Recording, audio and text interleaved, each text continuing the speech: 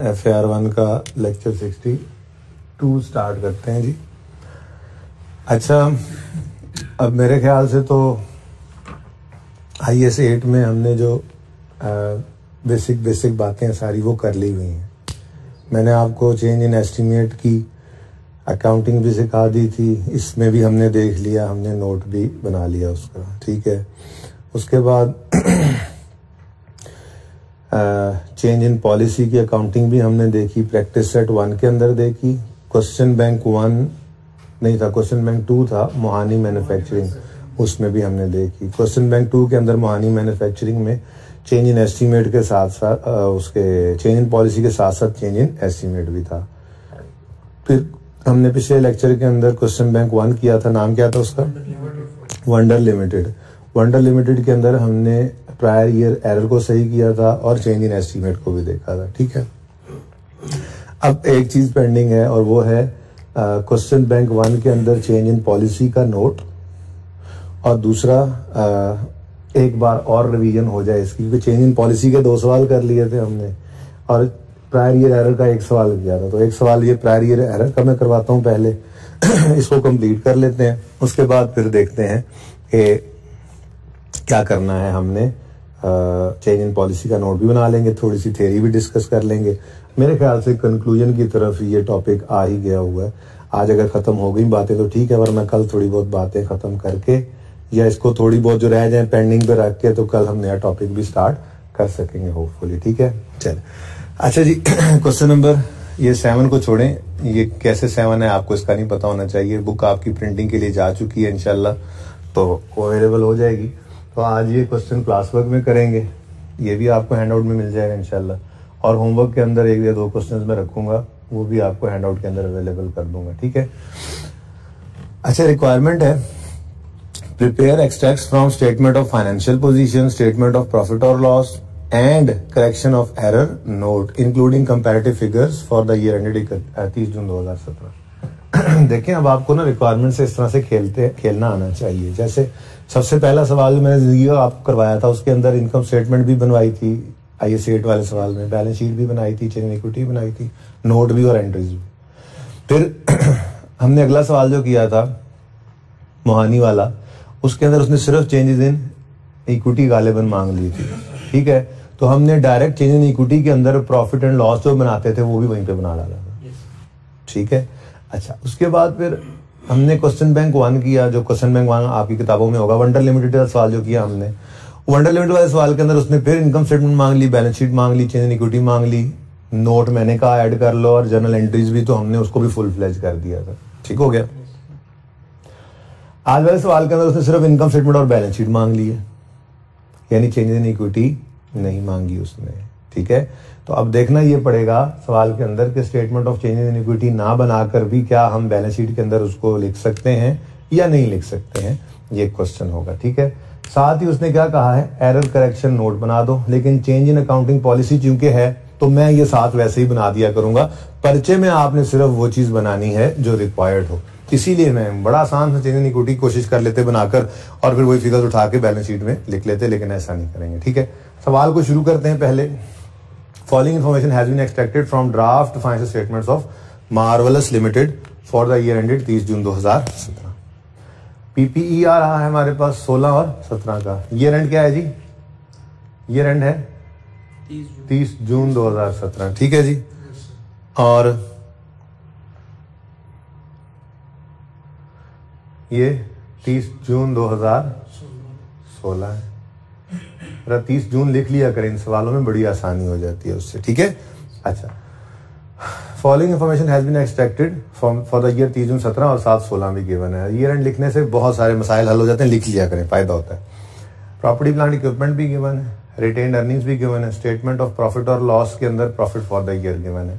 उसने हमें कहा कि 2017 के लिए इनकम स्टेटमेंट बनाओ और बैलेंस शीट बनाओ। अब हमें पता है, सत्रह की है तो सात इंक्लूडिंग कंपैरेटिव भी कह दिया, हमें सोलह की भी बनानी पड़ेगी, ठीक है? और सत्रह की भी बनानी पड़ेगी, लेकिन सिर्फ़ इनकम स्टेटमेंट और बैलेंस शीट और साथ उसने एरर करेक्शन नोट मांग लिया, ठीक है? लेकिन हम ये चीज़ें बना लेंगे बाद में, पहले हम अपनी इन दोनों एडजस्टमेंट्स को तो देख लें कि इनमें है क्या, ठीक है? It was identified that ML had incorrectly charged 36.75 million as maintenance income, as maintenance expense incurred on installation of plant. Plant की इंस्टॉलेशन का आपको पता है कि वो प्लांट की कॉस्ट में ऐड होनी चाहिए। उन्होंने गलती से उसको क्या बना दिया? Maintenance expense the plant was available for use on यकम जुलाई 2014 इसका मतलब ये 30 जून 15 वाले साल में भी गलती हुई। 30 जून 16 में भी हुई। 30 जून 17 में भी हुई। लेकिन 15 का साल तो हमारे सामने है नहीं। हम 16 और 17 के अंदर इसको कर लेंगे। क्या ख्याल है? ये चलो बना देंगे, ठीक है। बनाना तो चाहिए, क्योंकि एरर तो हम शुरू से ही लेकर आना है हमने। चलें, ये मुश्किल नहीं है मेरे ख्याल से, आसान है, लेकिन जी? हाँ बस वो तो ज़ाहिर सी बात है, दोनों चीज़ें सिखानी है ना आपको, ठीक है? तो सवाल के अंदर, पर्चे के अंदर तो कोई एक तरह से सवाल आ सकता है, ठीक है? बल्कि कल का दिन भी आइए सेट पे लगा लेते हैं, और कल ना हम रीवैल्यूएशन करवा लेंगे। इस सवाल के अंदर रीवैल्यूएशन हमने नहीं देखी तो रीवैल्यूएशन की गलती करा के ना, उसको भी सही करना सीख लेंगे। कल फिर इंशाल्लाह इसको कंक्लूड कर देंगे। वैसे आइए सेठ का कितना लेक्चर है आज? पांचवा ये सिक्स है। तो मेरे ख्याल में सिक्स में एंड हो जाना चाहिए था। भारत चलने आज ऐसा करेंगे ना, ये सवाल करते हैं। ये सवाल करके दो सवाल आपको होमवर्क में दूँगा। और फिर थोड़ी सी ना थेरी आपके साथ डिस्कस कर लेता हूँ जो कि करने वाली है। ठीक है ना? उससे हमारे एमसीक्यूज तैयार हो जाएँगे। कल का दिन हम आके रिवर्स वाला सवाल करेंगे। छोटी मोटी कोई चीज़ रहती है वो करके एमसीक्यूज आपको होमवर्क में दे के जो डिस्कस करने वाले हैं वो दो चार कर लूँगा ना। ठीक है? उसके बाद फिर हम इसको कल कंक्लूड कर लेंगे। चलें, साथ भी ठीक है। अच्छे तरीके से आज है टॉपिक नया टॉपिक है। एक्सपेक्टेशन है कि इसमें से टेस्ट करेगा वो। ठीक है ना? अच्छा। तो बहरहाल, ये एडजस्टमेंट अभी हो जाएगी, मसला कोई नहीं है, लेकिन यकम जुलाई, चौदह है तो फिर पंद्रह वाला साल है ना? पंद्रह, सोलह, सत्रह, तीन साल की हम वो टाइमलाइन बना लेंगे एंट्रीज करेंगे। जो एंट्रीज सवाल को पैरों पे खड़ा करने वाली होती हैं जर्नल एंट्रीज कहते तो वो एंट्रीज नहीं होती, याद है ना? ये सारी बातें याद तो है ना? अच्छा। फिर कहते हैं in view of significant change in expected pattern of economic benefit from an item of equipment अब ये प्लांट भी इसमें पड़ा होना है पीपीई में, और ये इक्विपमेंट भी इसी में है, ठीक है ना? It has been decided to change the adaptation method from reducing balance to straight line. Change in estimate. है change in estimate? अच्छा. In it has been decided to change. ठीक है जी. The equipment was purchased on यकम जुलाई 15 30 जून 16 वाले साल के अंदर और 30 जून 17 वाले साल के अंदर इसने आना है ठीक है ना लेकिन वो क्या कह रहा है पंद्रह पे at a cost of 80 million having estimated five years and residual value of 16 था the depreciation at the rate of 27.5 on reducing balance is included in above draft financial statements वो कह रहा है कि जी, हमने ये सोलह के अंदर खरीदा था। अब चूँकि चेंज इन एस्टीमेट है ना तो फिर सिर्फ़ सत्रह में ही चेंज करना है। कह रहा है कि हमने क्या किया है? हमने रिड्यूसिंग बैलेंस मेथड से चेंज करके स्ट्रेट लाइन कर दिया और रिड्यूसिंग बैलेंस मेथड के हिसाब से साढ़े सत्ताईस परसेंट की डेप्शन इस ड्राफ्ट में शामिल है। ड्राफ्ट कौन सा है? ये ड्राफ्ट होगा। ये ड्राफ्ट है। ये ड्राफ्ट है। हाँ जी, ये पिछला साल है भाई, ये तो यूज़र्स के पास पहुँच चुका है। ड्राफ्ट होगा ये वाला साल जिसमें हम मौजूद हैं। तो चेंज इन एस्टीमेट है तो पिछले साल को तो छेड़ना ही नहीं है। हमने अपने करंट ईयर को ही देखना है, ठीक है? और अगला उसूल आपको पता है नोट बनाने के लिए। हालाँकि रिक्वायर्ड नहीं है नोट लेकिन मैं आपके साथ चेंज एस्टीमेट का नोट भी आपको बनवाता आ रहा हूँ। ठीक है ना? अच्छा अब इस सवाल के अंदर ना जी, एक गड़बड़ है वो ये है कि रेजिडुअल वैल्यू भी सवाल के अंदर है। तो लेट्स सी इसको चेंज एस्टिमेट के नोट में कैसे डील करते हैं हम। देखेंगे इनशाला ठीक है? अच्छा ये चीज़ भी पेंडिंग थी हमारी ओके अच्छा ठीक है जी, कोई इतना मसला नहीं है। M L balances pertain the following balance pertain to M L statement of financial position और, ओ अच्छा तीस जून पंद्रह इधर दिया हुआ है। बदतमीज आदमी, इसको भी इधर लिख दो। बड़ा परेशान था ना मैं, क्योंकि सवाल पढ़ते पढ़ते मुझे आइडिया हो गया था कि ओपनिंग रिटेन अर्निंग अवेलेबल कोई नहीं। ठीक है ना? यानी कि हमारे पास ये तीस जून 2015 की रिटेन अर्निंग्स अवेलेबल कोई नहीं है, ठीक है? ये होंगी तो आगे चलेंगे। ठीक है ना? तो ये बेसिकली उसने ना अलग से दे दिया था, फनकारी लगा दी थी। तो पीपीई 30 जून 15 पर कितना है? 650 चलो ये भी मिल गया हमें।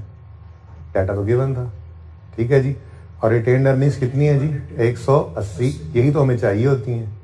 ठीक हो गया? और बाकी कुछ नहीं प्रॉफिट्स वगैरह। क्योंकि प्रॉफिट वैसे भी आपको याद होगा, हमें सिर्फ़ दो साल के चाहिए होते थे। ऐसा ही है ना? सही है। तो प्रॉफिट एंड लॉस अकाउंट सिर्फ़ दो साल का चाहिए होता था और बैलेंस शीट हमें चाहिए होती थी तीन साल की। ओके हो गया? डन हो गया। तो बैलेंस शीट हमें तीन साल की मिल गई है। प्रॉफिट एंड लॉस तो चाहिए ही दो साल। सुकून हो गया जी। चले शुक्र है। अच्छा अब उस पॉइंट को आखिरी वाले को काट ना दें हम। ऐसे ही फजूल में ये ना लगे को पॉइंट पड़ा हुआ है। इग्नोर टैक्स तो बहुत बड़ी नेमत है एफ़ आर वन के अंदर। वरना इस टॉपिक पे 12-12 दिन लगा करते थे। ठीक है ये मैंने यहाँ पे उठा यहाँ से उठा के यहाँ पे लिख दिया। ठीक हो गया? सवाल अब इतना सा रह गया बस। तो पॉइंट नंबर वन और पॉइंट नंबर टू तो वर्किंग वन हम कर लेते हैं जी। उसमें हम अपनी टाइमलाइन बना लेते हैं।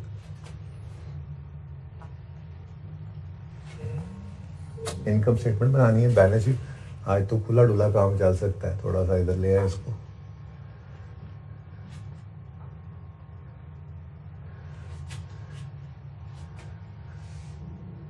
एक साल।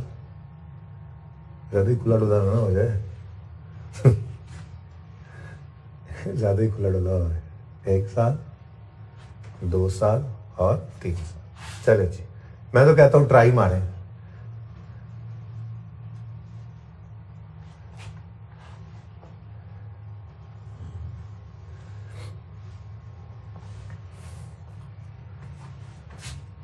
एडजस्टमेंट नंबर वन की बात पहले मैं कर रहा हूँ। चलें जी, ट्राई कर लें। मैं भी एक मिनट उधर ही रखिएगा। जरा पॉज कीजिएगा। इधर ले आए, इस साइड पे। ट्राई करें जी। एक मिनट लें ट्राई करें।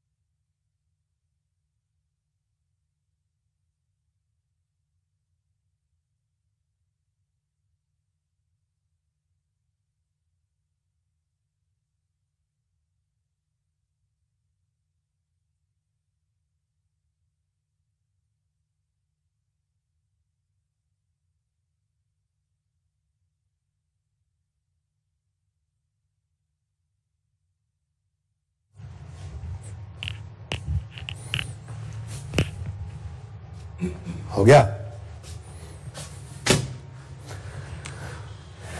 It was identified that ML has incorrectly charge छत्तीस चारिया सात पाँच मिलियन एज मेंटेनेंस एक्सपेंस यानी उन्होंने एंट्री कर दी है maintenance expense debit cash credit हालाँकि वो क्या था? इनकर हुआ था ये खर्चा ऑन इंस्टॉलेशन ऑफ़ प्लांट यानी कि होना चाहिए था प्लांट डेबिट ऐसे छोटी सी लिख लिया करते हैं आपको पता है ना? याद होगा आपको पहले भी ऐसे ही किया था। हमने कहा जी होना चाहिए था। प्लांट डेबिट कैश क्रेडिट गलती से कर गए। मेंटेनेंस एक्सपेंस डेबिट और कैश क्रेडिट ठीक है? कितनी अमाउंट थी जो भी थी बस ठीक है। ऐसे ज़रूरत नहीं है ना यहाँ पे लिखने की टाइम जाया होगा ऐसे ठीक है? हाँ अब हमें रेक्टिफाइंग एंट्री चाहिए होगी ठीक है? अच्छा ये गलती कब हुई है? The plant was available for use on यकम जुलाई 14 and has been depreciated. It was identified. बताया नहीं हो तो फिर यकम जुलाई 14 को ही ये खर्चा उन्होंने एक्सपेंस आउट किया होगा, ठीक है? तो एंट्री रेक्टिफाइंग क्या बनेगी जी? होना चाहिए था प्लांट डेबिट नहीं हुआ तो कर लो डेबिट प्लांट को तो प्लांट डेबिट हो गया। और मेंटेनेंस एक्सपेंस ये होना था, नहीं हुआ कर दो। ये होना था, हो गया, कुछ ना करो। मेंटेनेंस एक्सपेंस गलत डेबिट हुआ, सही करने के लिए क्या कर दो? मेंटेनेंस एक्सपेंस क्रेडिट हो गया thirty six point seven five ठीक हो गया जी। दिल तो कर रहा है राउंड कर लूँ लेकिन चलो अब सवाल ने फिगर ही ऐसे दी हुई है। अब भाई ये कौन सा साल है? ये 2014 का साल है। सॉरी यकम जुलाई चौदह है? ये फ़र्स्ट जुलाई चौदह। हाँ तो फिर पंद्रह लिख ही लेते हैं एक बार। यकम जुलाई चौदह। चौदह तीस जून पंद्रह। ठीक है जी? तीस जून सोलह।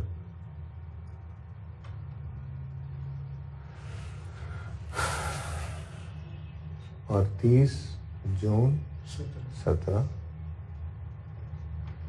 तो ये साल हो गया पंद्रह का। ये 16 का और ये 17 का ठीक है जी? ओके अच्छा अब ये आपको पता है कि एसेट गड़बड़ कर जाए तो डेप्रिसिएशन की गड़बड़ तो साथ ही है। ठीक है ना? ये बड़ी मज़े की बात होती है। तो फिर उसको बताना पड़ेगा कुछ ना कुछ तो कहता है and had been depreciate the plant was available for use जैकम जुलाई चौदह। And had been depreciated on straight line basis over useful life of four years अब वो कह रहा है प्लांट डेप्रिशिएट हुआ ना। ये 36 तो प्लांट में ऐड नहीं हुआ था तो डेप्शन होने से भी रह गया था तो ये डेप्शन रहती है तो डेप्शन चार्ज करनी पड़ेगी। इतनी लंबी सोच कौन सोचे? सादा सी बात। एसिड बढ़ रहा है तो डेप्रिसिएशन को भी बढ़ा लो। एसिड बढ़ रहा है, कम हो रहा है। प्लांट डेबिट एसिड बढ़ रहा है। एसिड बढ़ रहा है डेप्शन को भी बढ़ा दो। डेप्शन बढ़ाने की एंट्री डेप्रिसिएशन एक्सपेंस डेबिट और अक्यूमुलेटेड की बजाय एसिड को ही क्रेडिट कर दो। बल्कि मैं तो यूँ कहूँगा, इधर देखो। क्योंकि यहाँ पे प्लांट अलग से नहीं लिखा हुआ पीपीई लिखा हुआ है। तो प्लांट की बजाय पीपीई ही कर दो डेबिट ताकि एंट्रीज करने में चीज़ों को पहुँचाने में आसानी रहे। ठीक है ना? प्रॉपर्टी प्लांट इक्विपमेंट क्रेडिट अब हाँ भाई depreciation 36.75 divided by four years ये एक साल की डेप्शन है और यकम जुलाई 14 से ही गड़बड़ है। तो यकम जुलाई 14 से 30 जून नाइन पॉइंट 15 तक पूरा पूरा साल डेप्शन होगा ना? हाँ कितना? नाइन पॉइंट वन नाइन 9.19 9.19 ये सवाल की वजह से मैंने थोड़ी सी इज़्ज़त कर दी सवाल की वरना हम तो आपको पता है राउंड ही कर देते होते हैं ठीक है ना? क्योंकि सवाल ने एक्सप्रेसली ही समझो इसको पॉइंट्स में लिख दिया था तो मैंने कहा अच्छा नहीं लगता सवाल क्या कहेगा? बुरा लगता है सवाल कहेगा नाराज़ हो जाए सवाल। कि यार मैंने सवाल लिख के तो दिया आपको ओके नेक्स्ट ये ना एक एडजस्टमेंट को मैं सामने रखता हूँ ठीक है ना? दूसरी एडजस्टमेंट जो है मैं उसको छेड़ा ही नहीं। एक को अलग देखना ऐसे बीच में मिक्स नहीं करते चीज़ों को ठीक है? अगले साल फिर ये गलती सही करेंगे? अगले साल? प्लांट वाली गलती तो हर साल सही नहीं होती वंस था लेकिन डेप्रिसिएशन का मामला हर साल ही होगा। तो अगले साल भी डेप्रीसिएशन एक्सपेंस डेबिट और पीपीई क्रेडिट आसान सा सवाल है। हर साल डेप्रिसिएशन सेम ही आएगी 9.19 one nine depreciation expense debit और पीपीई क्रेडिट 9.19 ठीक हो गया जी? एडजस्टमेंट वन इज़ ओवर ठीक?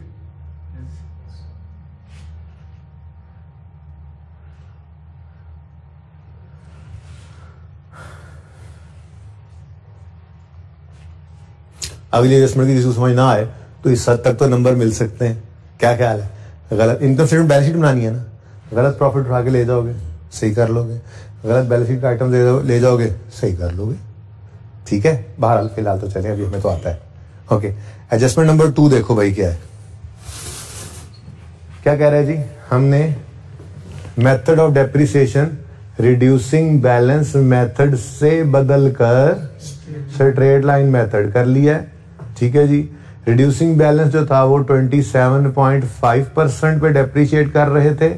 और ये 16 वाले साल में खरीदा था, लेकिन अब ऊपर देखो ना following matters are under consideration of the management तो तो ड्राफ्ट के हिसाब से ये 17 के साल में खड़े होकर ये एस्टीमेट चेंज हो रहा है ना। तो इसलिए 16 के साल को तो हम नहीं छेड़ेंगे चेंज एस्टीमेट तो हम प्रोस्पेक्टिवली डील करते हैं। ठीक है? तो फिर हमने क्या करना है जी? हम 17 वाले साल में अच्छा ये ना भी लिखता ना, तब भी हमें पता है कि फाइनेंशियल स्टेटमेंट्स जब बन चुकी हैं, चाहे ड्राफ्ट से ही तो डेप्रिसिएशन की एंट्री के बिना थोड़ी ही बनी होंगी। प्रॉफिट एंड लॉस निकल आया बैलेंस शीट के अंदर पीपी नज़र आ रहा है क्लोजिंग तो कैसे हो सकता है कि डेप्शन की एंट्री ना हुई हो? लेकिन उसने मेहरबानी की और मेहरबानी करके बता देता होता है। ना भी बताया तो मैंने आपको कहा हुआ है कंजम्पशन क्या है, इस साल में भी गलती हुई पड़ी होती है, सही करें। ठीक है? बहरहाल वो क्या कह रहा है? Depreciation at the rate of साढ़े सताइस on reducing balance is included in above draft financial statements depreciation की एंट्री हो चुकी है, ठीक है ना? एनीवेज आप छोटी सी वर्किंग मुझे पता है करेंगे, लेकिन आपको चूँकि रिड्यूसिंग बैलेंस मेथड है, आपको ये एसेट को लेकर आना पड़ेगा यकम जुलाई पंद्रह से। फिर आप उसको तीस जून सोलह तक डेप्रिशिएट करोगे। फिर आप उसको तीस जून सत्रह तक डेप्रिशिएट करोगे पहले, ठीक है ना?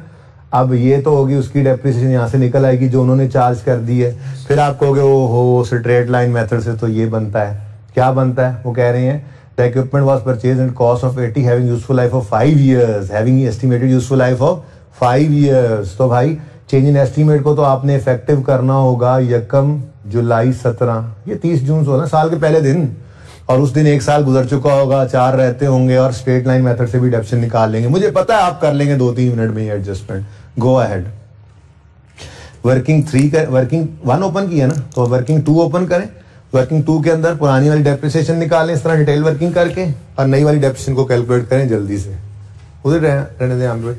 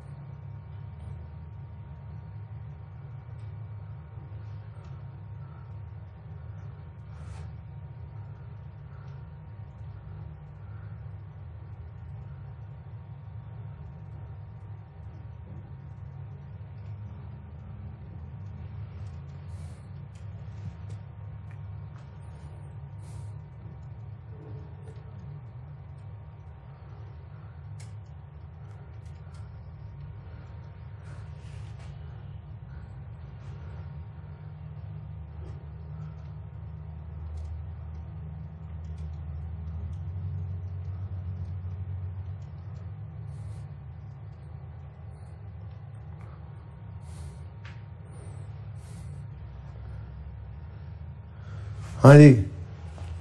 क्या फिर बना? अभी चल रही है कैलकुलेशन जल्दी करें ना यार।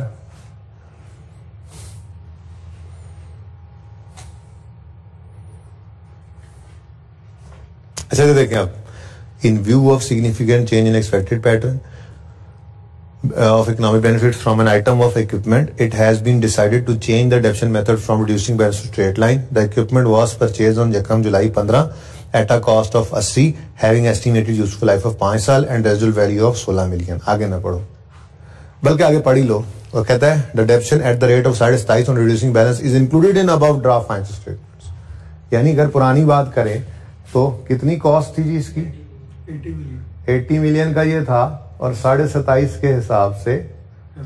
डेप्रिशिएट हुआ। कितना सीधा सादा सवाल है। यकम जुलाई पंद्रह को एसिड खरीद रहा है ये। है जी? तो सारे फ्रैक्शन फ्रुक्शन से आपको बचाया हुआ है इसने। बोलो।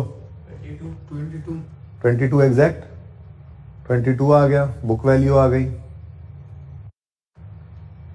फिफ्टी एट ठीक है जी। फिफ्टी एट को अब इधर देखो। ये जो फिफ्टी एट है ना इस पे साढ़े सताइस परसेंट लगा है। पिछले साल पे तो जो हो गया वो हो गया चेंज इन एस्टिमेट है। पिछले साल को तो हमने कोई नहीं कहना। पिछले साल के डेप्शन को तो नहीं छेड़ना हमने लेकिन इसके अंदर तो मसला है हमें। कितनी डेप्शन चार्ज हो? हाँ? सिक्सटीन तो बुक वैल्यू जो भी है मुझे इससे क्या? बस ठीक है। बस ठीक है मुझे इससे क्या? चाहिए नहीं ना मुझे। अब ये डेप्रिसिएशन जो है ना भाई ये रॉन्ग है। क्योंकि इस साल में चेंज इन एस्टिमेट जो हो गया है हम साल के पहले दिन से इफ़ेक्टिव किया करते हैं और हमें साल के पहले दिन से ऑनवर्ड जो है वो नए एस्टीमेट के हिसाब से डेप्रिसिएशन करनी होती है। अब नया एस्टीमेट क्या है? वो कह रहे हैं जी रेप्शन मेथड बदल दो। बदल के क्या कर दो? स्ट्रेट लाइन तो आपको याद होगा कि फॉर्मूला क्या होता था? फॉर्मूला अगर आपको याद हो तो वो होता था W D V at the date of change in. Estimate याद आ रहा है कुछ कुछ Yes. Minus residual. Residual value. Over remaining useful life याद आई कुछ बातें अब W D V at the date of change in estimate क्या है भाई, सत्रह वाले साल में एस्टीमेट चेंज हो रहा है तो हम तो साल के पहले दिन ही लेकर आएँगे इसको तो साल के पहले दिन की बुक वैल्यू यही तो है, तीस जून सोलह का मतलब यकम जुलाई सोलह भी तो होता है तो हम फिफ्टी एट लिख रहे हैं। ये क्या है जी? W D V at the date of change in estimate residual value के बारे में सवाल ने कोई नहीं बताया। तो इसका मतलब जो रेजुअल वैल्यू सवाल में स्टार्ट पर थी मतलब चेंज के बारे में कोई ना बताया तो जो स्टार्ट में थी वही रहेगी। ठीक है? वो कहता है equipment was purchase at a cost of 80 having useful life of 5 and residual value of 16 ये जो 16 पहले थी। अगर नहीं कोई चेंज आया, सवाल ने नहीं बताया तो ये 16 ही लेंगे। बोलो? Yes. और साल कितने गुजर गए एक गुजर गया। रिमेनिंग कितने चार। चार पाँच टोटल थे ना? तो डिवाइड बाय फोर ईयर्स जी कितना आ गया? टेन पॉइंट फाइव आ गया। और ये क्या है जी? मैं यूँ कह रहा हूँ कि ये ओरिजिनल है या करेक्ट है। अब डेप्रिसिएशन चार्ज होनी चाहिए थी साढ़े दस की हो गई है सोलह की। ये समझ आती है? यही आंसर निकले थे तुम लोगों के? सर या पहुँचे नहीं अभी यहाँ तक। बोलो। यही आंसर निकले थे। अच्छा अब 16 की डेप्शन चार्ज हो गई है होनी चाहिए थी साढ़े दस। तो ज़्यादा चार्ज हो गई है। सही करने के लिए क्या करोगे? रिवर्स करोगे? कम करोगे? डेप्शन चार्ज करने की एंट्री क्या है? Depreciation expense debit PPE credit reverse करने की एंट्री क्या होगी? PPE debit depreciation expense credit और कितने से भाई? इधर देखो 16 और साढ़े दस का फ़र्क 5.5 ठीक है? Yes. इस साल में कुछ करेंगे? नो सर ये 22 की डेफिनेशन को चेंज करें? नहीं चेंज एस्टिमेट में हम वापस नहीं जाया करते। करंट ईयर और फ्यूचर ईयर्स को बस छेड़ते हैं ठीक हो गया जी? लो भाई कहानी खत्म। सवाल खत्म हो गया। हमें क्या करना है? अब हमने तीस जून को थोड़ा सा ऐसे करना है पहले तो। तीस जून सत्रह। और यहाँ पे आपके अगली रिक्वायरमेंट डाल लेते हैं। इनकम स्टेटमेंट बनानी है, देख लो। Prepare extract from statement of financial position and statement of profit और लॉस आगे नोट की बात कर रहे है। तो statement of profit and loss इसके एक्सट्रैक्ट्स ठीक है जी?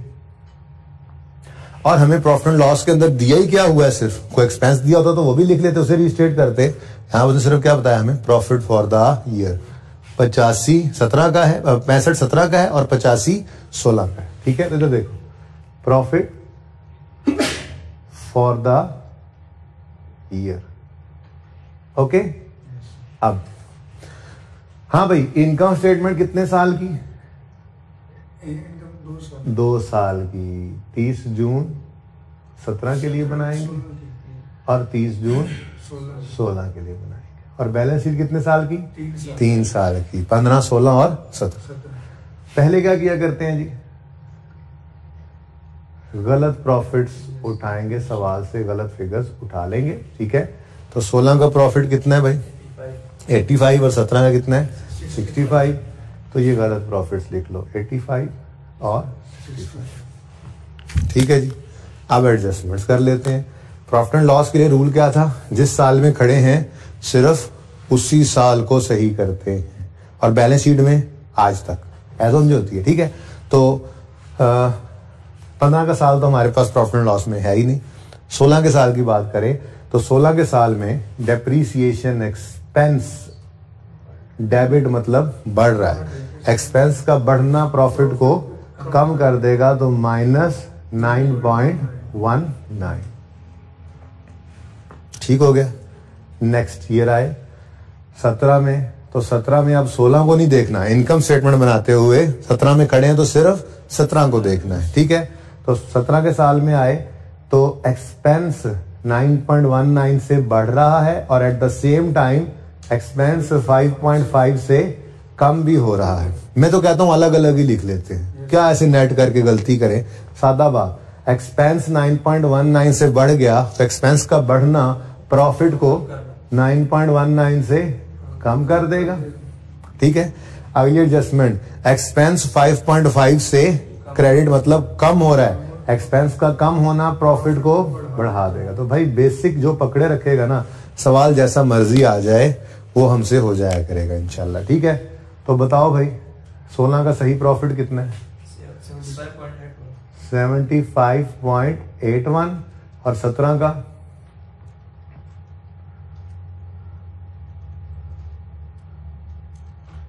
वन वन देख लो सत्रह अच्छा सत्रह ये है सॉरी मैं ऊपर वाला देखे जा रहा हूँ। मैं कह रहा हूँ पता नहीं क्या sixty one point three one मैं टोटल ये करने लगा। हाँ भाई इसमें से सरताज का इलाज रिस्टेटेड रिस्टेटेड लिखना है सोलह पर लेकिन सत्रह पर नहीं लिखते हैं। ठीक है? नोट करें बगैर इधर देखे।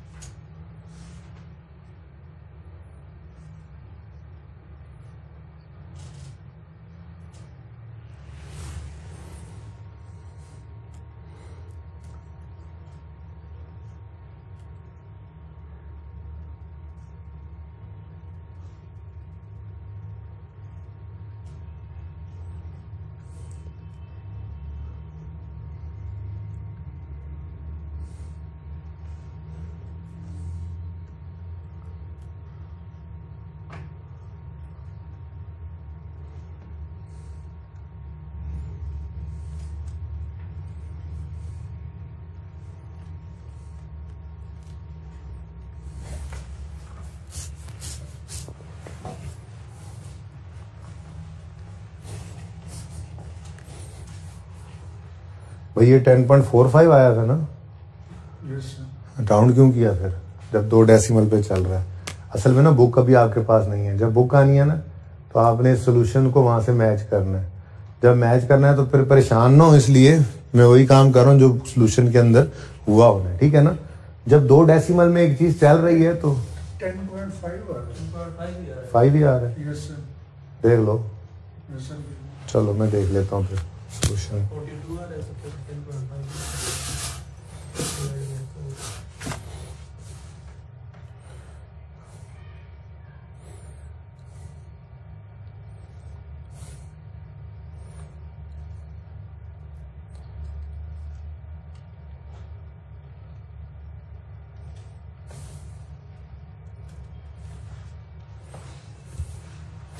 और यहाँ पे क्या आ रहा था?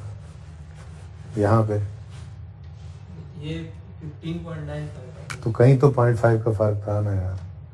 Fifteen point nine five nine five तो इन दोनों का डिफरेंस जो है, वो फाइव पॉइंट फोर फाइव बनता है। ठीक है ना? ये बेटा कोई मसला नहीं है, वो भी ठीक था, बिल्कुल ठीक था, कोई गलती नहीं है, कोई नंबर नहीं कटने। ये सिर्फ़ और सिर्फ़ इसलिए मैंने ये तकलीफ़ उठाई है दोबारा। देख लो, ये फ़र्क बनता है। दोनों का फ़र्क बनता है ना, सिर्फ़ इसलिए तकलीफ़ उठाई है ये, कि जब बुक आपकी आनी है ना दो तीन दिन में तो ये बुक के अंदर सारे क्वेश्चन मौजूद हैं। आपने कहना हाँ ये क्वेश्चन तो हमने किया वैसे करके सोल्यूशन ओपन करना है। और साथ देखना है तो पॉइंट फाइव में तो इतना टाइम भी ना लगे आपको यार, ये क्या हुआ अच्छा राउंडिंग का ढूँढने में टाइम ना लगे आपको। मैं ये कह रहा हूँ कि आप, क्योंकि वहाँ पे थोड़ा तरतीब डिफरेंट होती है सवाल करने की वर्किंग्स करने की, थोड़ी बहुत, ठीक है ना? तो आपको आंसर एज इट इज़ सामने नज़र आना चाहिए कि बिल्कुल सही जा रहा है। ठीक हो गया? हाँ भाई, यहाँ तक को मसला? Statement of statement of financial position statement of financial position इसके एक्सट्रैक्ट्स बना लेते हैं। अब इसके अंदर जो कुछ पहले गड़बड़ मौजूद है वो लिख लेते हैं। पीपीई है और रिटेन अर्निंग है। तो पीपीई नॉन करंट एसेट्स में आता है। अब यहाँ पर हमें पंद्रह सोलह और सत्रह तीनों गिवन है तो सवाल से गलत फिगर्स उठाकर पहले ये मुफ़्त के नंबर तो ले लें। तो 650, 612 और 700 650, 612 और 700 कैसा लगा ये वैसे ये वाला टॉपिक इजी है? ओके जी ओके उसके बाद रिटेन अर्निंग्स है। अच्छा इसमें टैक्स नहीं है ना, इसलिए ज़्यादा परेशानी नहीं हो रही है आपको। टैक्स आए तो थोड़ा प्लस माइनस सोचना पड़ता है ज़्यादा। बहरहाल वो जो कोई I S twelve F two में पढ़ते हैं तो करंट टैक्स डेफर टैक्स की मिक्सिंग जो आई एस एट के साथ होती थी, उससे आप बच गए। तो वहाँ पे ग्यारह, बारह दिन लगते थे, यहाँ पे छह, सात दिन में होता हुआ नज़र आ रहा है। ठीक है?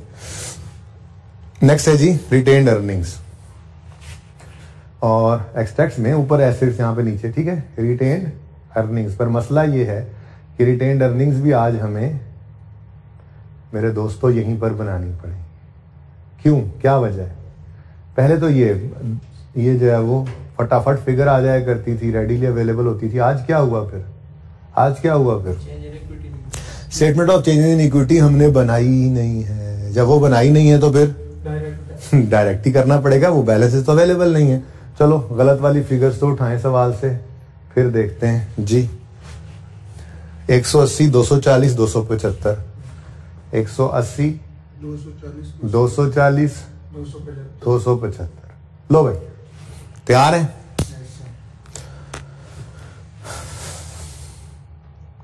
पंद्रह के साल के लिए पंद्रह को देखेंगे उससे पहले कुछ गिवन नहीं है ना।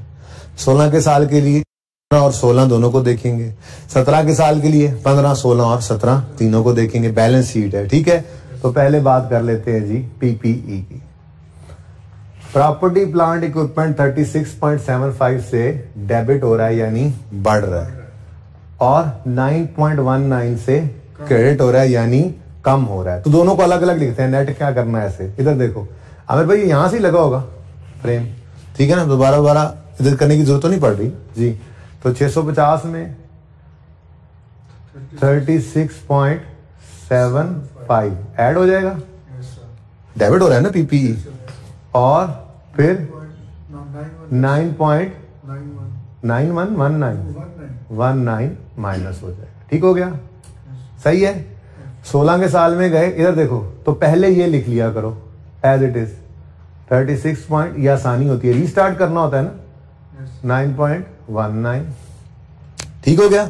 अब उसके बाद ये देखो ये हमने क्या लिखा पहले? ये देखो ये पंद्रह था ना पंद्रह?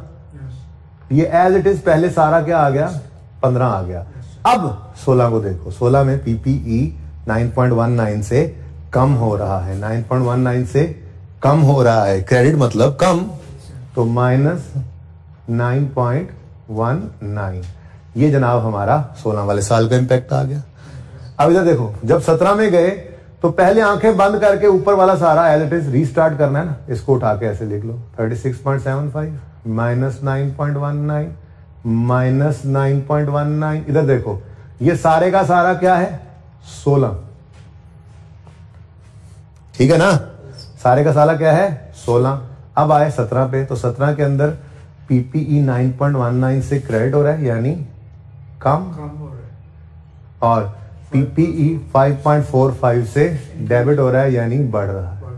फाइव पॉइंट फोर फाइव यार इसको ना ताकि जरा अच्छी समिट्री रह जाए इसको 15 कर लें। ठीक है जी?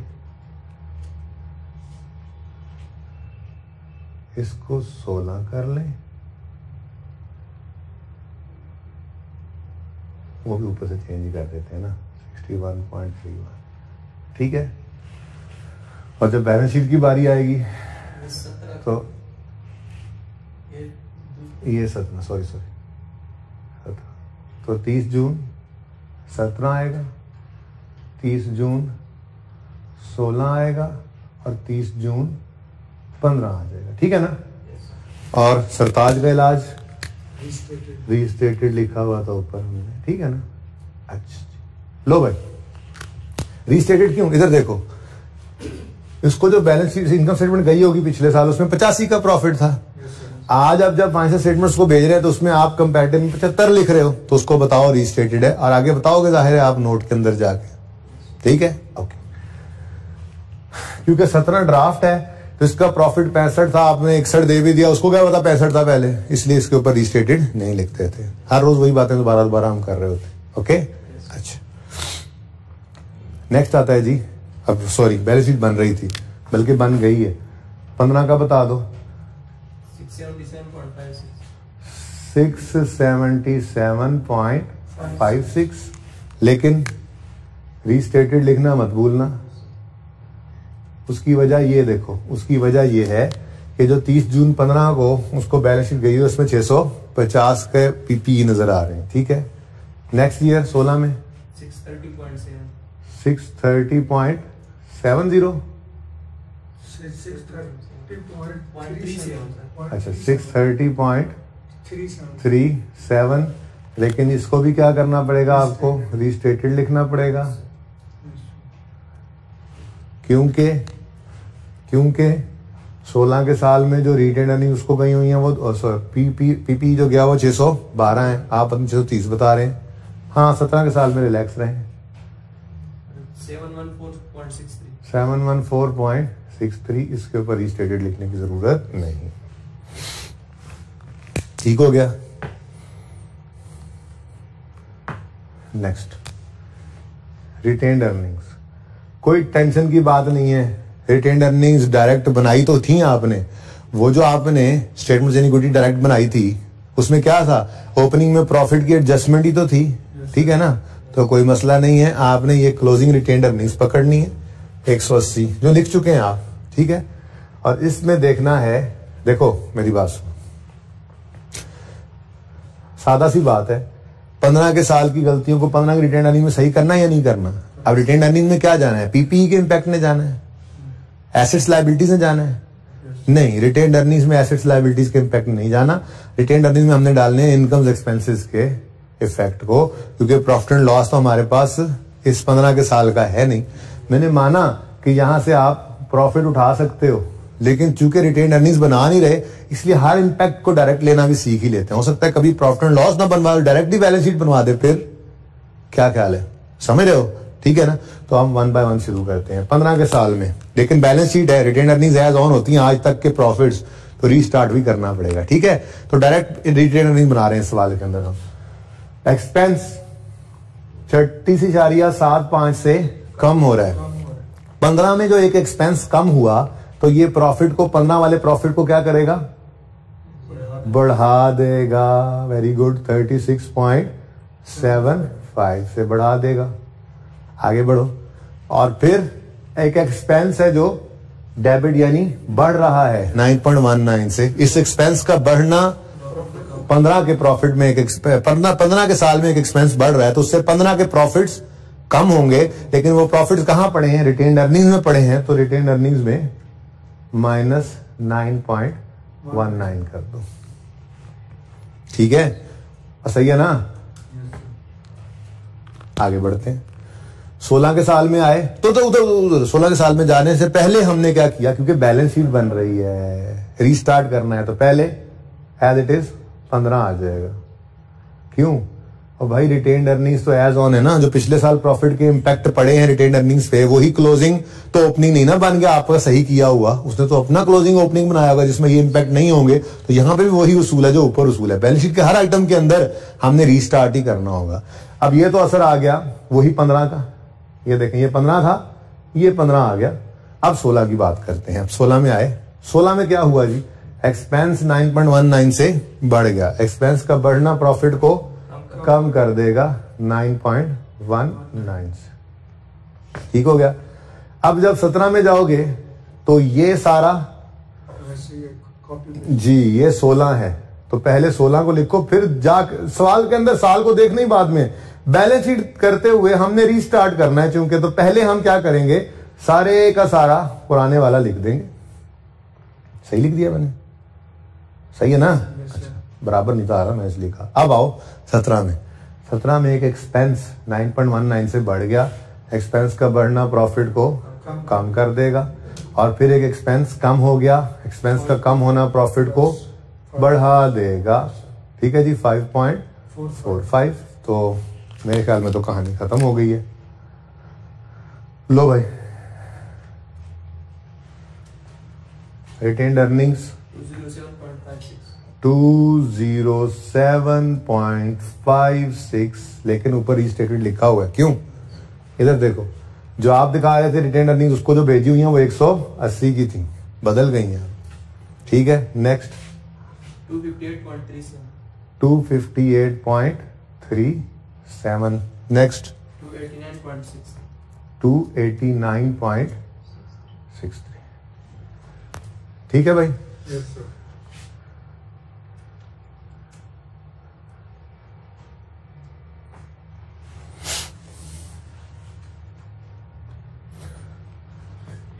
अब भाई क्या हो गया? क्या होगा? नोट आएगा? नोट अब कहाँ बनाए? चलो, आ जाएगा। चलो ट्राई मारते आपको पता है क्या? ऊपर चीज़ें आपने नहीं लिखी हुई, वो लिख लेनी है। ये है मार्वलस लिमिटेड इधर देखें, अपने सोल्यूशन के ऊपर आपने यूँ लिखना है? मार्वलस हर एक के ऊपर। नंबर मिलते हैं marvellous limited of profit loss extract और नीचे for the year ended 30 June. फिर 17 और 16 ऐसे ही यहाँ पे भी लिखना है आपने ओके ऐसे ही यहाँ पे भी लिखना है आपने। ये लाजमी लिखिएगा लाजमी लिखिएगा लाजमी लिखिएगा तीनों के ऊपर। सब कुछ, ठीक है?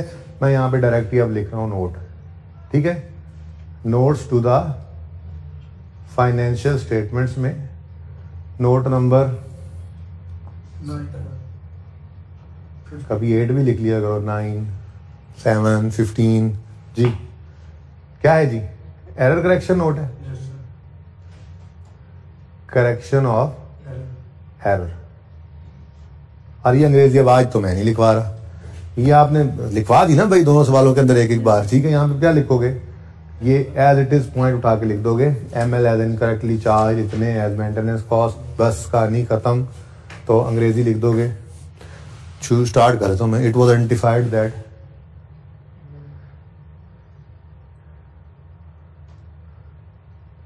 that ml has बोलो बोलो जरा ताकि थोड़ा।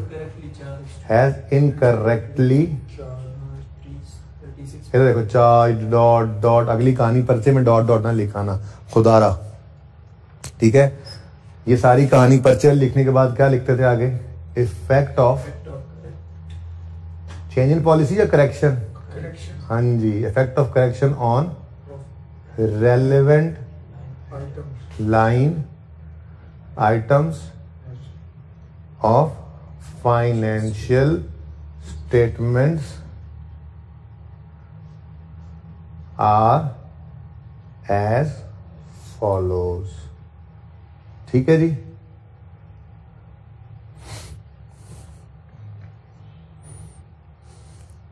अच्छा जी, अब items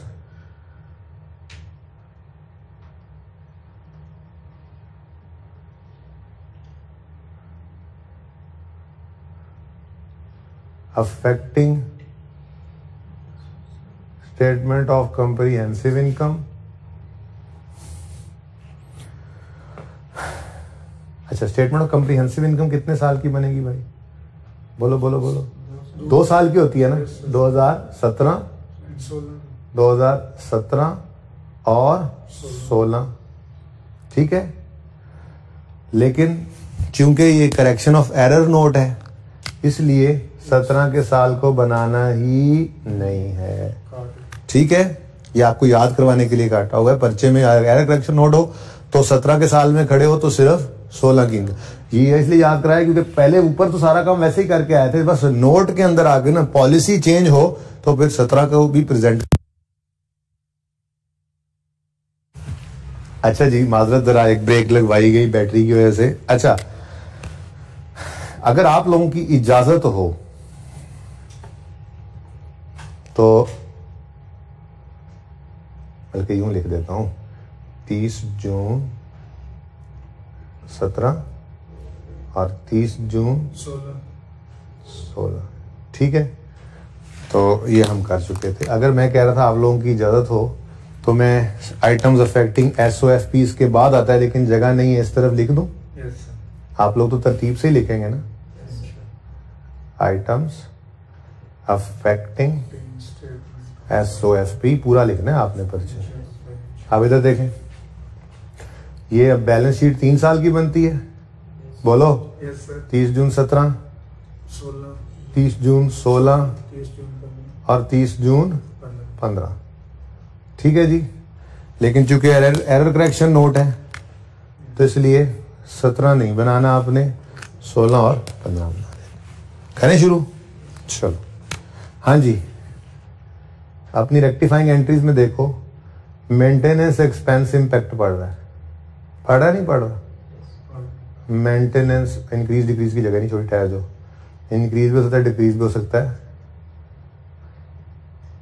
मेंटेनेंस एक्सपेंस है चलो देखते हैं भाई। सिर्फ़ 16 को देखना है, सुकून हो गया। और इनकम स्टेटमेंट आते हो 16 के साल में सिर्फ़ 16 को ही देखोगे। हाँ भाई तो 16 के साल में तो मेंटेनेंस एक्सपेंस हिट हो ही नहीं रहा। पुरसकून ज़िंदगी। काट दो। ठीक है? ओके फिर डेप्रीसिएशन एक्सपेंस है। डेप्रीसिएशन एक्सपेंस ये तो है भाई सर, सोलह में। डेप्रीसिएशन एक्सपेंस 9.19 से डेबिट हो रहा है, यानी बढ़ रहा है। तो इंक्रीज इन. डेप्रीसिएशन एक्सपेंस कितने से? 9.19 से। ठीक हो गया बेटा? उसके बाद दूसरी चीज़ जो हिट हो गई थी 16 के साल में, वो है 16 के साल का प्रॉफिट तो प्रॉफिट फॉर द ईयर के लिए प्रॉफिट लॉस देखने की ज़रूरत नहीं। हम हर चीज़ ही एंट्रीज से बनाते हैं। ये सारा सवाल हमारे कदमों पे सवाल अपने कदमों पे, हमारे कदम, अपने कदमों पे जो खड़ा हुआ है, वो इन्हीं एंट्रीज की बुनियाद पे खड़ा हुआ है। ठीक है ना? तो हम हर चीज़ के लिए इन्हीं एंट्रीज को ही देखते हैं। क्योंकि देखो ना, पता नहीं कौन सी चीज़ मंगवा ले। पर्चे में हमसे कहे इनकम स्टेटमेंट बना दो तो भी हम एंट्री से देख के बनाएँगे। कहे सिर्फ़ बैलेंस शीट बना दो इसी से देख के बना रहे हैं। कहे सिर्फ़ नोट बना दो तो भी एंट्री से देख के बना रहे हैं। किसी चीज़ की मोहताजी नहीं लेनी यहाँ से। ठीक हो गया? चलो। तो प्रॉफिट फॉर द ईयर के लिए हम 16 के साल में इनकम स्टेटमेंट बनाते हैं तो 16 को ही देखेंगे ना ठीक है? तो 16 के साल में एक एक्सपेंस 9.19 से बढ़ रहा है ठीक है? एक्सपेंस का बढ़ना प्रॉफिट को कम कर देगा। कितने से? 9.1. 9.19 से तो डिक्रीज इन प्रॉफिट है 9.19 ठीक हो गया जी? आगे आते हैं जी बैलेंस शीट में। बैलेंस शीट के अंदर एक तो हमारा पीपीई पे इम्पैक्ट पड़ रहा है। Yes, और दूसरा रिटेन अर्निंग्स है। पीपी सिंपल पंद्रह के साल में सिर्फ़ पंद्रह को देखेंगे। सोलह के साल में पंद्रह और सोलह को देखेंगे। सत्रह का साल बनाना ही नहीं है ज़िंदगी आसान। ठीक है?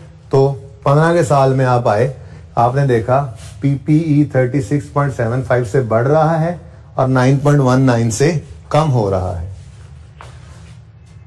PPE thirty six point seven five से बढ़ रहा है प्लस और 9.19 One nine से कम से कम हो रहा है तो नेट में बढ़ रहा है या कम हो रहा है? बढ़ रहा है। बढ़ रहा है तो फिर कितने से बढ़ रहा है वैसे? Twenty seven point five six 27 गायब हो गया जरा थोड़ा सा।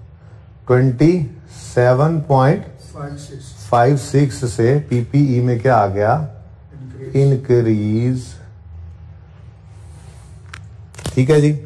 16 के साल में जाएँगे तो 16 के साल के अंदर 15 को भी देखना है और 16 को भी देखना है। तो 16 के साल में भी पीपी 9.19 से कम हो रहा है। हैं जी? तो थोड़ा सा नीचे करके वर्किंग कर लेते हैं अब। प्लस 36.75 पहले लिखा 9.19 लिखा ये तो हो गया पिछला साल 15 अब 16 में भी 9.19 से ये कम हो रहा है तो नेट में एटीन पॉइंट थ्री सेवन 18.37 से इंक्रीज आ गया। अच्छा सर चेक तो करें वैसे ही।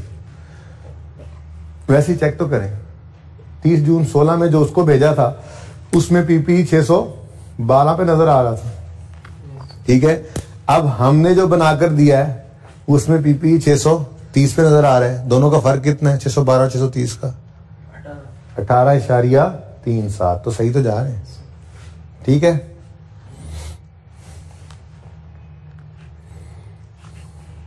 Okay next next thing is retained earnings क्या चीज़ जी? और रिटेन्ड अर्निंग्स के लिए भी मैंने मुश्किल वाला तरीका आपको सिखाया होगा आसान तरीका तो पता है क्या है? आसान तरीका तो ये आपने 207.56 निकाली रिटेन्ड अर्निंग्स ठीक है? सवाल में गिवन है 180 तो आपकी रिटेन्ड अर्निंग 180 से बढ़ के 207 शरिया पाँच छह होगी। कितना फ़र्क पड़ता है? 37.56 ठीक है? लेकिन मैंने आपको मुश्किल वाला तरीका सिखाया हुआ है। वो मुश्किल तरीका क्या है जी? कैपिटल बराबर होता है एसेट्स माइनस लाइबिलिटीज के। ठीक है? तो हम इधर आए। हमने देखा कि एसेट ही है। कौन सा साल है? पंद्रह का साल है। पंद्रह का साल है। एसेट ही है। और एसेट 36.75 से बढ़ रहा है और 9.19 से कम हो रहा है। तो नेट में बताओ एसेट 27 पॉइंट फाइव बढ़ रहा है। तो plus twenty seven point five six और लाइबिलिटी का नामो निशान ही कोई नहीं है तो ज़ीरो कुछ भी नहीं हुआ। तो हमारे पास फिर आंसर क्या आ गया? सी है ही क्या? 27.56 यानी रिटेन अर्निंग्स में इंक्रीज है 27.56 से।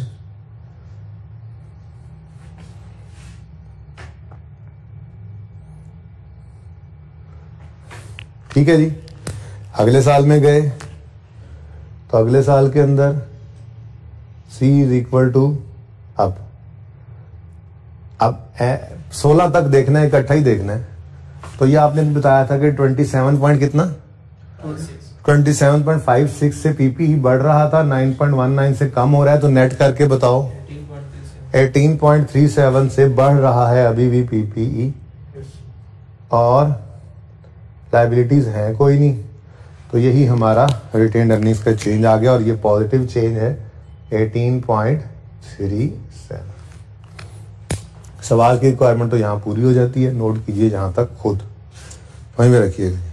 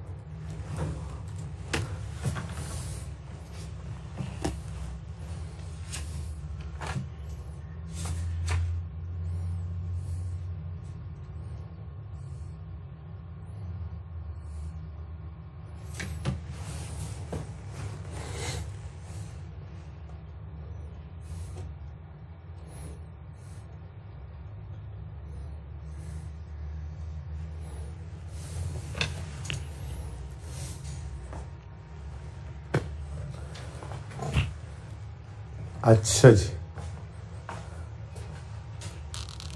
उसके बाद भाई अगली चीज़ जो एक एडिशनल चीज़ है वो है चेंज इन पॉलिसी का नोट और आज इसमें ना असल में रेजिडल वैल्यू भी आ गई है। ठीक है? इस सवाल में रेजिडल वैल्यू है ना? इसलिए मैं चाह रहा हूँ कि ये भी बना ही लें एक बार। रिक्वायर्ड नहीं है सवाल में लेकिन चलो नोट नंबर नाइन मैं यहाँ पे लिख लेता हूँ जी। चेंज इन एस्टिमेट और इसके आगे, इसमें अंग्रेज़ी क्या लिखोगे? ये वाली। In view of significant change in expected pattern ठीक है ना? In view of change in अंग्रेज़ी लिख के सारी अंग्रेजियाँ मार लोगे, ठीक है ना? मार लोगे? चेंज एस्टिमेट बताना है ना? उसके बाद आप आगे लिखोगे effect of change in estimate is as follows और अगली बात आपको पता है हमने दो ही चीज़ें बतानी होती थी। एक होता था जी इंक्रीज भी हो सकता है डिक्रीज भी होता है हो सकता है। In profit of current year in profits of current year एक ये फिगर चाहिए होती है हमें। और फिर उसी तरह से in profits of future years ठीक है जी? तो इसके लिए हम एक वर्किंग किया करते थे। अब वर्किंग नंबर थ्री का नंबर बन रहा है तो यहाँ मैं वर्किंग थ्री कर लेता हूँ। ठीक है? उसके अंदर आपको याद होगा, मैंने आपको कहा था कि आपने करंट ईयर तो बहुत आसान है। करंट ईयर में आपने क्या करना है? आपने ये देख लेना है। इधर देखो करंट ईयर में डेप्रीसिएशन जो गलत थी वो पंद्रह शारिया पचानवे थी ना? नौ पाँच। बोलो। और सही है दस शारिया पाँच। तो जो हमने सही किया है तो करंट ईयर के अंदर डेप्रीसिएशन 5.45 से क्या हुई है? कम। डेप्रीसिएशन एक्सपेंस करंट ईयर में डेप्रीसिएशन कम हुई है 5.45 से जिस वजह से प्रॉफिट बढ़ जाएगा 5.45 से ठीक है? तो वहाँ के ऊपर हम लिख देंगे increase in profit of current year four point five point four five ठीक है? अच्छा अब जब बारी आती है ना फ्यूचर ईयर्स की तो ये तो एज इट इज़ आना ही आना है। ये तो पहले से ही सिखा दिया था। डेप्रीसिएशन बढ़ा लो 5.45 से, और प्रॉफिट्स को कम कर लो लेकिन ना पहले सवालों के अंदर जो था, वो रेजल वैल्यू नहीं थी आती। अब रेजिडुअल वैल्यू दो रुपए की जो आ रही है चेक करना है तो कर लो चेक करना है तो कर लो। रेजिडुअल वैल्यू जो दो रुपए की आ रही है, ये रेजिडुअल वैल्यू की वजह से फ्यूचर की डेप्रिसिएशन चेंज होनी है या नहीं होनी है अच्छा अब एक मसला है। मसला ये है कि आप इसको यहीं पे रोकें, ठीक है? इसको यहीं पे रोक दें, सवाल को। ये क्यों कह रहा हूँ? सोचने की बात यह है कि क्या रेजिडुअल वैल्यू में चेंज आया? नहीं रेजिडुअल वैल्यू में चेंज नहीं आया। मतलब ये जहन तो बना लेना पहले कि अगर रेजिडुअल वैल्यू बदल जाती तो उसकी वजह से भी डेफिसिट में तो फ्यूचर में चेंज आना था या नहीं आना था? ठीक है ना? तो फिर हम उसको भी यहाँ पर कंसिडर करते हैं। अब मसला क्या है? मसला ये कि वो सोलह रुपए की रेजल वैल्यू पहले साढ़े सत्ताईस का रेट निकालने के लिए इस्तेमाल हुई हुई थी। और वही 16 की रेजल वैल्यू अब भी यूज़ हो रही है। इसका मतलब अभी भी हमारा नोट वही का वही बन गया। मैं ट्राई करूँगा, कोई और ऐसा सवाल मिल जाए जिसमें रेजल वैल्यू बदले ताकि हम उसका इंपैक्ट यहाँ पर लेकर आए। ठीक है? क्लियर है ये बात? चलो बाहर सुकून ज़िंदगी के अंदर। Increase in increase in profit of current year है 5.45 और? Decrease in profits of future year अच्छा है ना ये तो पक्का होता जाए। ठीक हो गया जी। ये ये फरमाइशी नोट था। ये चेंज इन एस्टिमेट का नोट क्या है जी? फरमाइशी। फरमाइशी। बाकी ये रिक्वायरमेंट थी।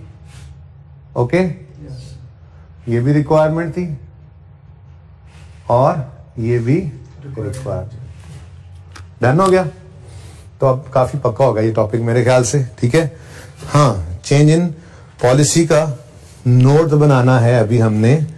आ, मोहानी वाले सवाल में नहीं मोहानी वाला सवाल ही था ना चेंज इन पॉलिसी फाइव से आपको मैसेज में गए थे हाँ। तो चले ठीक है आपको मोहानी वाला सवाल हैंडआउट में मिला हुआ है? Yes, उसका आपने आ, सवाल भी किया हुआ है? Yes, तो अपना होमवर्क लिखना शुरू करें अब होमवर्क लिखना शुरू करें। क्लास वर्क मैंने क्या करवाया आपको जी? मार्वलस लिमिटेड ठीक है जी मार्वलस लिमिटेड सिर्फ़ सवाल किया हमने। हाँ इसमें एक एडिशनल हमने स्टेटमेंट ये चेंज इन एस्टीमेट का भी नोट बना दिया था। अच्छा उसके बाद होमवर्क के अंदर सबसे पहले आप क्या लिखेंगे जी? मोहानी मैन्युफैक्चरिंग लिमिटेड वाला जो सवाल है, उसके अंदर सवाल मैंने आपको करा दिया था। आपने क्या करना है? कल मैं फिर बनवाऊँगा। Prepare change in policy note prepare change in policy note ठीक है जी? उसके बाद, एक सवाल और आपके हैंडआउट्स के अंदर होगा। अच्छा ये देखें पास पेपर के अंदर एक सवाल है डेफोडेल लिमिटेड ये आपको टेस्ट में दे दिया था, आपने ये कर लिया था, हमने डिस्कस भी कर लिया होगा। ठीक है? तो इसलिए तीन सवाल हैं पास पेपर के इस टॉपिक में, हमारी किताब में जो होंगे। वो तीनों हम अलहमदुल्ला कर चुके हैं। मतलब एक कर चुके हैं, दो भी आप होमवर्क में कर लेंगे। अच्छा आई के क्वेश्चन बैंक की अगर बात करें तो आई के क्वेश्चन बैंक में ये कोल लिमिटेड वाला सवाल है। इसके अंदर रीवैल्यूएशन के अंदर गड़बड़ है। ये इनशाला मैं कल खुद करवाऊँगा आपको, ठीक है? मैंने आपको मार्वलस वाला सवाल करवा दिया, ठीक है जी? उसके बाद आसिफ इंजीनियरिंग लिमिटेड ये सवाल आपके हैंडआउट्स के अंदर होगा, ठीक है जी? जो मैं अभी आपको दे दूँगा ना, आसिफ आज शाम तक आ जाएँगे। आसिफ इंजीनियरिंग लिमिटेड ठीक है जी? ये सवाल भी आसान है, इंशाल्लाह आप कर लेंगे। एक नज़र डाल के देखें। उसने पीपी दे दिया स्टोर स्पेयर दे दिए रिटेन अर्निंग दे दी नेट प्रॉफिट दे दिया। आगे कहता है कि जी, असल में ना, पिछले तीन साल में वो भाई साहब जो थे स्टोर स्पेयर्स को क्या करते आ रहे थे? एक्सपेंस आउट करते आ रहे थे। लेकिन उन्होंने सोचा कि ये पॉलिसी जो है ना हमारी, ये सही नहीं है।